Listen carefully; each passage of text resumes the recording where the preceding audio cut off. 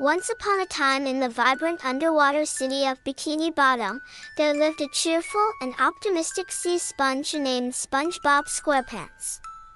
One day, SpongeBob discovered a magical seashell that granted wishes.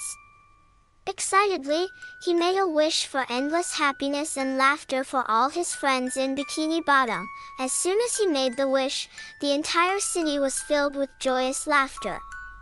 The usually grumpy Squidward couldn't help but crack a smile, and even the tough-as-nails Sandy Cheeks found herself giggling.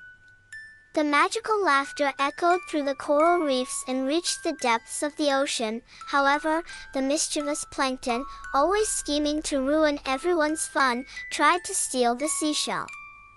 SpongeBob, with his quick thinking, outsmarted Plankton, and the seashell remained safe. The laughter continued to bring happiness to Bikini Bottom, creating a harmonious and joyful atmosphere. SpongeBob and his friends learned that true happiness comes from spreading joy and laughter with those around them. And so, in the heart of the sea, the laughter-filled days continued, making Bikini Bottom a place where smiles were as abundant as the ocean waves.